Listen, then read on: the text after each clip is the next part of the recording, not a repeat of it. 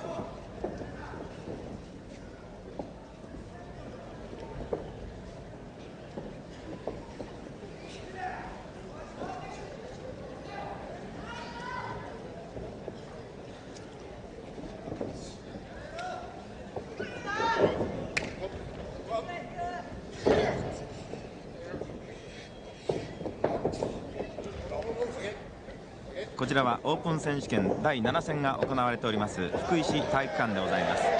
東京足立区体育館で幕を開けましたオープン選手権大会も埼玉県広島県九州東海地方を得まして北陸寺へとやってまいりました。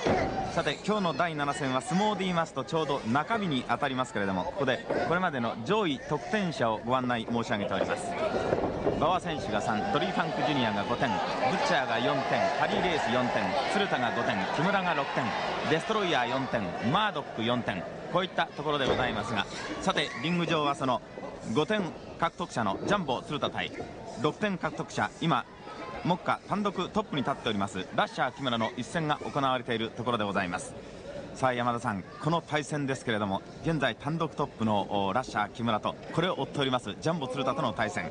しかも全日本プロレスの、えー世界を目指すジャンボ鶴田と国際プロレスのエース木村との一戦ですね。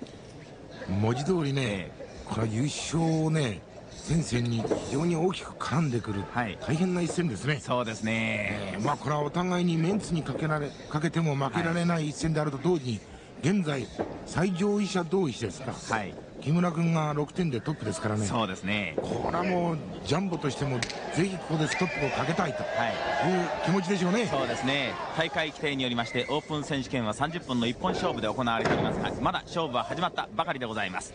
力強い攻撃を展開しておりますラッシャー木村であります。第11代の IWA ヘビー級チャンピオンでございます。11年のキャリアがあります一方のジャンボ鶴田は3年のキャリアでありますがご存知のようにインターナショナルタッグチャンピオンでございます。すでに6度防衛を果たしています。腕を取りました。このラッシャー木村であります。技対パワーとの対決と見てよろしいでしょうか。そうですね。おそらくジャンボとしてはね、テクニックで勝負に出るつもりでしょうが、はい。相当木村君がエキサイトしてますね。トップで行きました。黒いロングタイツをつけました亡くなりました。力道山を彷彿させます。ラッシャー木村でございます。ものすごいチョップ。今チョップで返しました。ジャンボ鶴田もチョップで返しました。まだ試合は始まったばかりでありますが激しい攻防でございます。ペースの取り合いであります。上背に恵まれました。ジャンボ鶴田です。1 9 7センチ。ラッシャー木村の方は1 8 5センチでございます。つま先立ち。華麗なるフットワーク。ジャンボ鶴田でやります。ファン人気投票は第5位。東の関脇でございます。一方のラッシャー木村はファン人気投票西の関関脇でございます。このカードも夢の顔合わせですね。ねえー。これも本当にねファンが選んだね、はい。もう文字通りの夢の顔合わせの一つ。そういうことですね。しかしねこれはもうスタートから木村君がかなりエキサイトしてますね、はい。ジャンボがですねもしそのペースに巻き込まれてしまうとあまり有利とは言えませんね。なるほどまあ、おそらく木村君としてはこの自分のラフペースというかそういうものに巻き込みたいとえいう気持ちでしょうがね。そうでしょうね。左の腕を取ります。ラッシャー木村。関節技です。両方の足が余っているブリッジで逃れた。ものすごいジャンプ力です。ジャンボ鶴田でございます。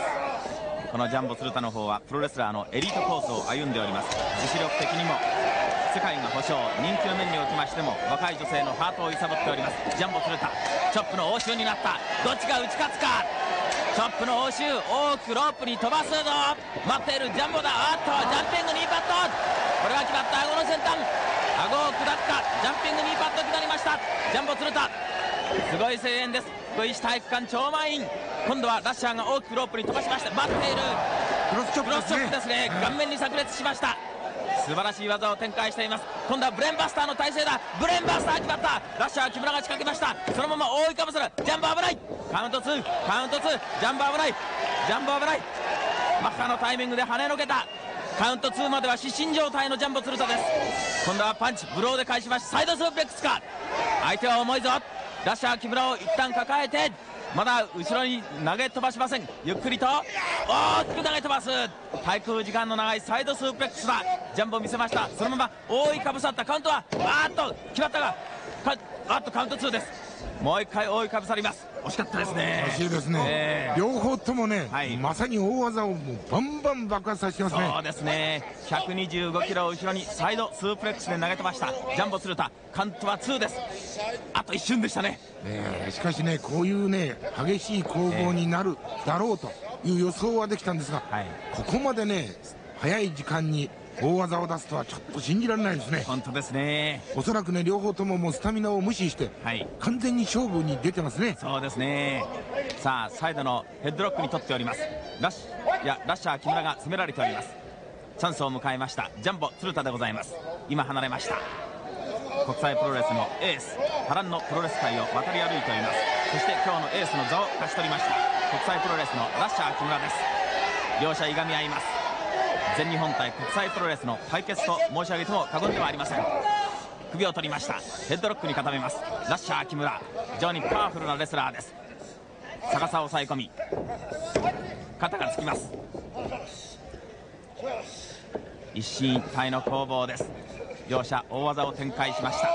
ラッシャー木村のブレンバスター。ジャンボ鶴田のサイドスープレックス。まあこれね、え木村君の場合ですね、よくラフファイターラフファイターということを言われるんですが、必ずしもねそうじゃないと思うんです。非常にねあの先ほど見せたブレンバスター、ええ。あるいはバックドロップといったような大技を持ってますしね、はい。そして逆にジャンボ鶴田の場合テクニシャンであってラフに弱いとええ。言われてましたがこれまた違いまして最近は非常にラフにも強くなった。そういうことですね。ええ。ですからお互いにですねまさに五分と五分の力を持っている。とはい。言っていいでしょうね。自信満々同士の対決ですね。ラッシャー木村が行きました。総キックを打ちます。今度はチョップ攻撃で応酬だ。ジャンボ鶴田です。激しい両者のチョップののえー急所に当たりましたね。当たりましたね。今度は正面からヘッドバットを見舞いました。ラッシャー木村ですなかなかスピーディーなコンビネーションを出しております。ラッシャー木村です。ちょっと後ろにひるみました。ジャンボ鶴田。トップロープに腕がかかっています。トップロープに腕がかかっています。ロープブレイクを命ずる。ジョー樋口であります。抱き起こしました。23歳のジャンボ鶴田。めった打ちであります。熱い胸板。赤く変色してまいりました。ちょっとこの辺りはタジタジです。若いジャンボ鶴田。ラッシャー木村がどうやらペースを掴んだようです。前進する。前進する打たれても打たれても前に出ます。大きくバックドロップに行く。岩石落とし決まりました。これは決まった。そのまま覆いかぶさるか。行くぞ。ジャンボがいった。覆いかぶさったぞ。しかしロープが近い。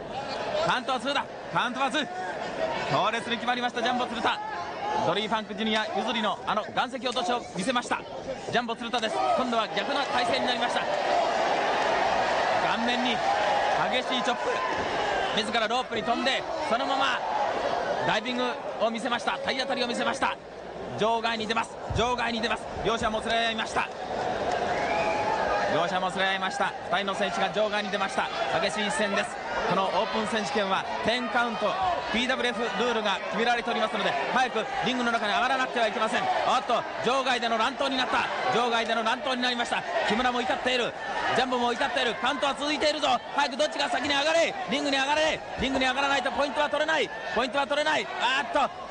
上樋口は今カウント10を知らせた。ゴングを要請いたしました。ゴングを要請いたしました。まだ応酬は続きます。ジャンボ鶴田対ラッシャー木村の応酬が続きます。激しいチョップの応酬だ。激しいチョップの応酬だ。ゴングが乱打されています。勝ち点5そして勝ち点6との勝負。目下単独1位と2位との勝負であったんですけれども結局これは山田さん場外リングアウトのポイントにはなりませんね。そうですね。えこれはねちょっとエキサイトしすぎですね。まあやはりね無理もないと思いますがはい。ね、ジャンボ鶴田痛い星を落としました。せっかくのね、得点をね両方もう本当にエキサイトして我を忘れてしまいましたね。そうですね。えさあ全日本プロレスの若手レスラーが飛び出してまいりました。月選手あたりがエキサイトした。ジャンボ鶴田の腰をがっちりと取りましたけれどもあジャンボが追いかける。ラッシャー木村を捕まえました。